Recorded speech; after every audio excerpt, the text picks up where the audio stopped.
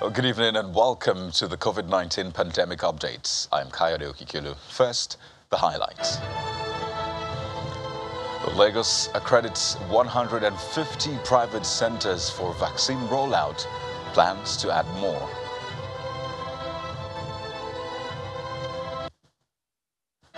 Yobe State government tackles vaccine hesitancy, takes campaign to tertiary institutions.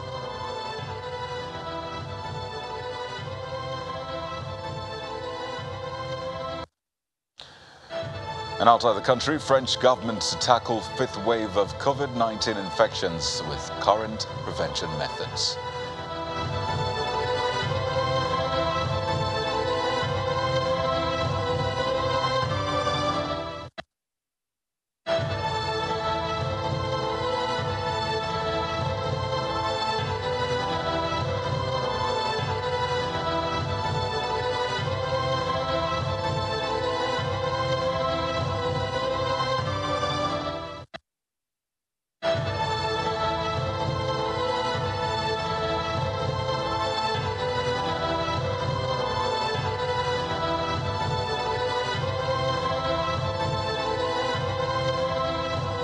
Well, good to have you join us on the program as we take you through some of the vital information and events you need to know about COVID-19. Well, the goal is to arm you with knowledge which you need to keep yourself and those around you safe from the virus. And on the program, we begin from Ekiti State, where youths have been deliberating on the best way to shake off the unpleasant economic effect of COVID-19 and get their businesses back on track. This formed part of a conversation at a youth convergence forum held in Ado-Ekiti, the state capital.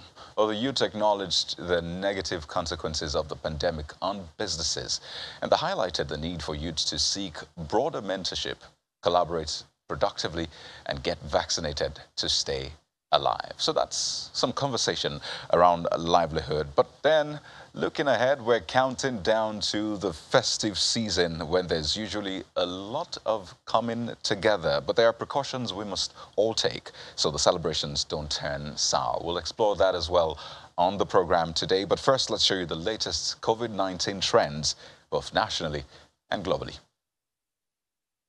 144 additional persons in Nigeria have been recorded as positive for COVID 19 in the last 24 hours.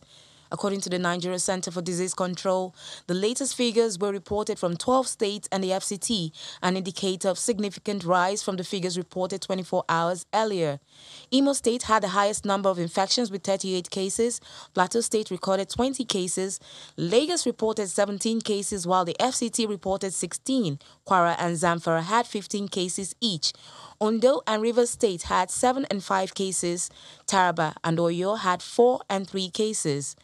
Bauchi had 2 cases while Edo and Ekiti came in with 1 case each. Today's report takes backlogs of cases from the FCT, Plateau, and Lagos into account. Backlogs of recoveries from the FCT are also accounted for in today's report. No new cases were reported from Katsina, Ogun, Osun, and Sokoto states. The total caseload in Nigeria has risen to 213,321. 436 more people were discharged, bringing the total number of recoveries to 206,206. There were five additional deaths from COVID 19 complications reported in the last 24 hours, bringing the total number of deaths to 2,973. Currently, there are over 4,000 people on admission, while over 3.4 million samples have been tested. The latest update from the National Primary Healthcare Development Agency shows that more than 5.9 million Nigerians have received the first shot of the COVID 19 vaccine, while over 3.2 million persons have been fully vaccinated. Globally, more than 7.5 billion vaccines have been administered. In Africa, there are more than 8.5 5 million confirmed cases and over 221,000 deaths have been recorded across countries on the continent. More than 254 million people all over the world have contracted COVID 19, while deaths are over 5.1 million.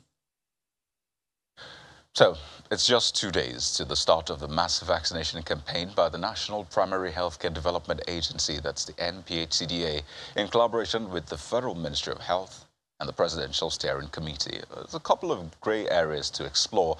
But first, here's what was said about the campaign at the latest PSC briefing in the nation's capital, Abuja. I believe uh, with your support, that of the media particularly, we should be able to drive home uh, this process and ensure that our people are ready to participate in this mass vaccination exercise that we are rolling out on Friday because that's the only way. If you look at the sciences and the data that is coming out of uh, other countries, particularly in Europe, Eastern Europe, most of the countries that have the least vaccination percentages are the ones that are having the very outrageous surges in, uh, in infection.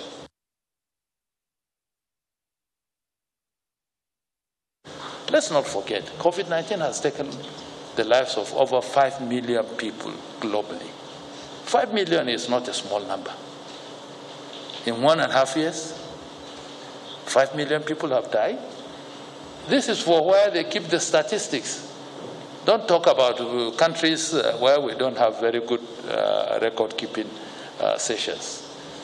There are so many people that have died of COVID 19 in Nigeria that we have not recorded because they die and the people in the villages and in the towns will say that oh, probably people from his village are the ones that pursued him to the city and killed him. We have all sorts of explanations to give. But I believe strongly that working together with the media, we should be able to accelerate this mass vaccination exercise so that we can reduce to a large extent the the, the, the adverse effect of this COVID. So this will form a major part of a conversation on the program tonight. But Lagos State is aggressively recruiting the private sector to increase the number of COVID-19 vaccinations administered each day. The Lagos State Commissioner for Health said this while playing host to the new country director of the United States Center for Disease Control and Prevention. According to him, the state has already accredited 150 private sector entities for the vaccination rollout, and there are plans to add even more to this rollout. Now to Yobe State, where fake news on social media has been identified as a major setback to vaccine uptake in Nigeria. And the Executive Secretary of the Yobe State Primary Healthcare Management Board, Dr. Babagana Kundi Machina, shared this concern at a sensitization exercise with support from UNICEF at the Federal Polytechnic Damaturu and College of Agriculture, Gujba, both in Yobe State. Uh, though he was represented, he assured the students of the tertiary institutions that the vaccine is safe and charged them not to be deceived as many have died with COVID-19 even in countries with more resources and health facilities.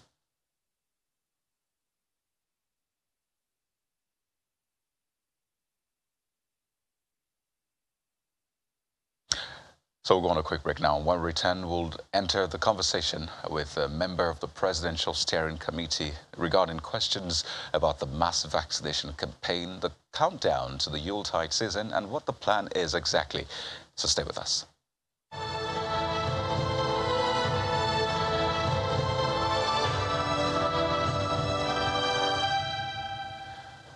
You're welcome back. So there are different approaches to this vaccine mandate, both at the national and state levels. We're going to explore some of these approaches. And let's begin with Lagos State. Earlier on, we told you about the uh, move by the Lagos State government to accredit 150 private sector players to ensure that vaccines reach more people. So let's take a listen to the Lagos Commissioner for Health.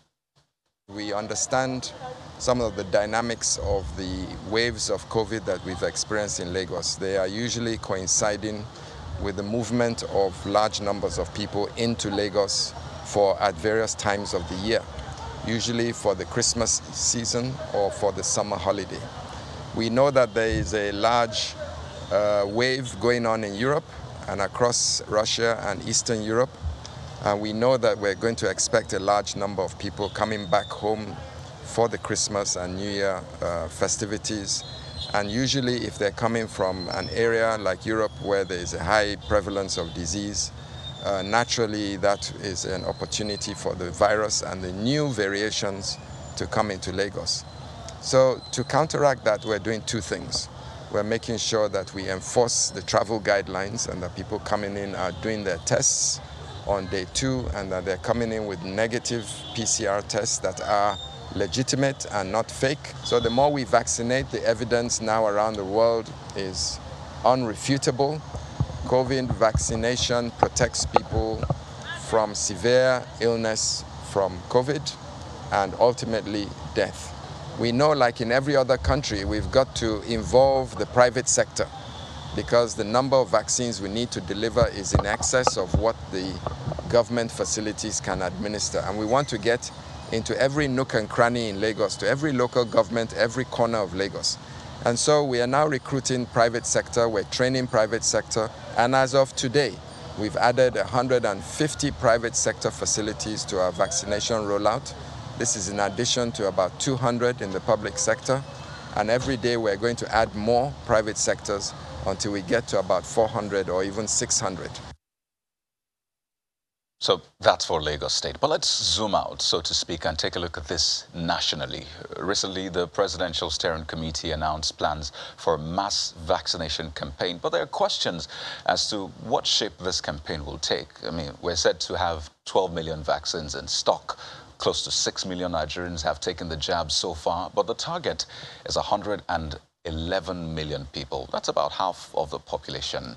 And now that the festive season is upon us, what goal is realistic and how do we communicate that to people to get their buy-in? Well, Dr. Mukhtar Mohammed is the National Incident Manager and Presidential Steering Committee on COVID-19, and he joins us from our Abuja studio. Dr. Mohammed, thank you uh, for joining us on the program. Uh, let me just start off uh, quickly. What more can you tell us about this planned mass vaccination campaign? I mean, what shape is it going to take, and how is it different from the current campaigns we have seen across board? Uh, thank you, Kayode. Uh, good evening. Um, uh, as uh, you mentioned, certainly uh, the federal government is embarking on a mass campaign program to ensure that as many people get vaccinated uh, as possible. In the past, we've had scarcity of vaccines. Um, we did not have enough. We were scrambling to get um, a few doses from here and there to vaccinate our population. Um, currently now we have uh, enough vaccines in the country. There is no scarcity in any of the states. Um, and therefore the challenge is to push out these vaccines uh, to make sure as many Nigerians get vaccinated as possible. This is a very critical time for us. Um, this is November. Very soon people will start traveling uh, back to the country. And as you heard from the Lagos State Commissioner, um, all the waves have coincided uh, with periods of peak travel. Um, and therefore, we are preparing and we are prepping up, um, you know, to uh, curtail any importation that we are going to have with its uh, consequences.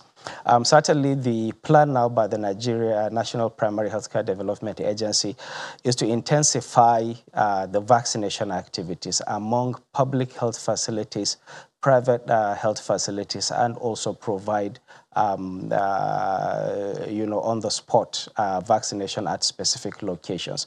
Um, but the plan is not going to be done uh, maybe everywhere across the country at once. Um, we're zeroing in on specific high-risk states.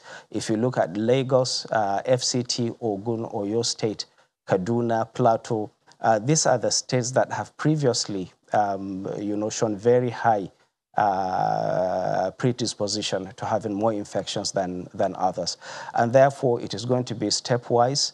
Um, you are aware of the mandate that has been given by the federal government regarding uh, federal health workers and federal government offices in the country. There is no going back uh, in, in that one.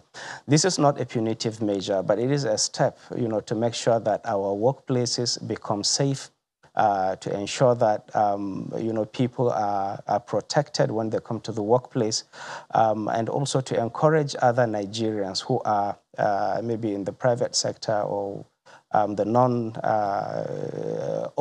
uh, sector uh, to also recognize that the federal government is taking this seriously and has imposed this mandate you know, on uh, the public servants. So it's going to start uh, now, or it has already started. Um, and the target, as you mentioned, yes, it's very ambitious target, but we'll try as much as possible as we can to make sure that we cover some ground. You know, interestingly, uh, we had this conversation with a public health physician a few days ago on the program, and you know, the question was put uh, as to what, what kind of approach should be taken. Is it persuasion, appeal, or coercion? And he was of the opinion that coercion might be extreme. That at this point, it's important to encourage people. I mean, to on their own volition, go ahead and take these vaccines. So I wonder how the government is approaching this. I mean, you've said this is not a punitive measure, but clearly it says that if people are not vaccinated, they, they will not be allowed into, you know, uh, federal government uh, agencies, departments, and the rest. So how are you mixing persuasion, appeal, and coercion in all of this, really? So if you look at it, it is actually a phased um, um, approach and it's a combination um, of all of this. Um, prior to the December 1 mandate that was given by federal government, um, we've been mounting intensive um, campaigns, engagement, and persuasion, as you'll call it, through every available you know, uh, medium uh, to get the public to accept these vaccines. Now we have started, you know, the um, the enforcement side, which is government looking at its own public places to make them safe. Um, and even this one, it is not that you don't have an, an option. There is an option, but it's a matter of, um, uh, you know, how how what are the stakes you know for that for that option. If you are not vaccinated you can still have access to government premises as long as you have done a covid test that is not more than 72 hours. So you have that option. Um, continue to do a pcr test every three days uh, before you access a government facility or just go and get your vaccine um, I think um, we don't need to really overbeat uh, this point um, in the sense that we're talking about public health. We're talking ab about the greater good of the people, the greater good of the country. Um, we have seen what is going on currently now um, in Europe and many parts of, of, the world. As the winter, you know, becomes more intense, there are more infections that are going on, and most of these infections now are among the unvaccinated uh, population. They are the ones that get sick. They are the ones that get hospitalized, and mostly they are the ones that die from from COVID. Um, recently, um, you know, even in, in, this country, we have seen uh, the data. Uh, over 80% of all the cases that have died recently in the country are people who are not vaccinated. So um, it is, it is really, it makes sense. And it is the responsibility of government to ensure that we secure the lives and property of the people. And uh, what is common good for everyone, you know, government would always ensure that it happens so that we protect the majority of the people in the country. So looking at the goal um, and then looking at where we are right now, 111 million, we're still at about 6 million people who have taken the jab so far. And I mean, just a little percentage of that 111 million are federal civil servants. So I wonder for the larger population, or at least for the uh, people left in that 111 million target, uh, will it be some sort of enforcement as well to ensure that they are captured. Uh, I wonder what the, the game plan is for them. Uh, so, you know, it, it's a dynamic process. Um, and like I told you, this is just uh, the beginning and government is trying to set example. Certainly, um, you have heard some of the states have already taken uh, similar actions. So you will now add uh, state public health services. The state governors are also going to make some procl proclamation very soon, um, you know, requesting that um, uh, their own civil servants also uh, get vaccinated. We are aware that the private sector has already started doing this. Most of the multinational corporations are also enforcing it. Um, and therefore, it is a stepwise process. Um, this is not uh, something that uh, will say that we have a grand plan uh, to say that everybody must be vaccinated at once. Uh, we move, you know, we uh, look at the gains and then we move to the next step and get people. Certainly, in a not very far uh, future, people will not be able to travel out of the, of the, of the country if you don't have vaccine. So for this category of people, their drive to get vaccination, you know, will be because they want to travel. Um, and when you see others get vaccinated, then you also get kind of motivated. And I'm sure uh, very soon, Kayode, uh, public events also, you know, will try to scrutinize because everybody wants to be safe. Everybody wants to make sure that they do not constitute risk to others. And we'll start seeing this and it will improve um, our coverage generally. The target is really to be able to achieve 70 to 80% vaccination coverage so that we can lower down our restrictions. People can be free, you know, to go to most public places without the fear, um, you know, of getting uh, the risk of having a COVID infection. Well, to be clear, anyway, vaccination is still ongoing across the country but without some challenges. And of course, it's not as fast as you would, I mean, desire. Some centers have reported not having doses at all. Some others have, but it's a different brand. And that brings me to the next question. Is it right to offer a different second dose or ask recipients who have taken maybe one dose of AstraZeneca, for example, to then take or begin the process again with a different vaccine? We've had reports of that. And some call it vaccine cocktail. What's the position on that one?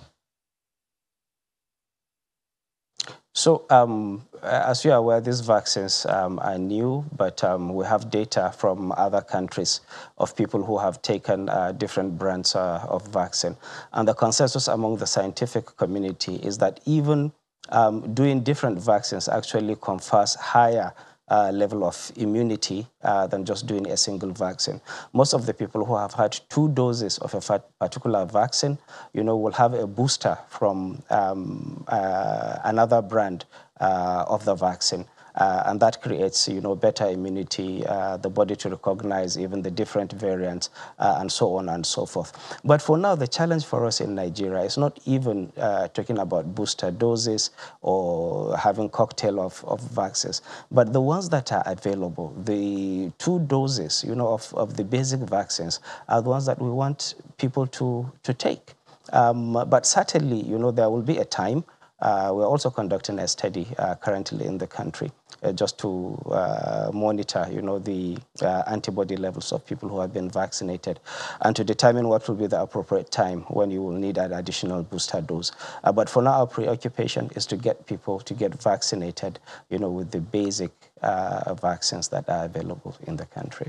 So we're winding down in a minute, Dr. Mohammed, and let's just leave it on this note. What's the plan for the festive season? You know, people are already making plans to travel both within and from outside the country. They will converge in large gatherings, and I'm just thinking, how is the PSC approaching this? We are quite apprehensive. Um, we know that we are quite vulnerable uh, considering the level of vaccination in this country. We've not vaccinated uh, more than 3% uh, of our population.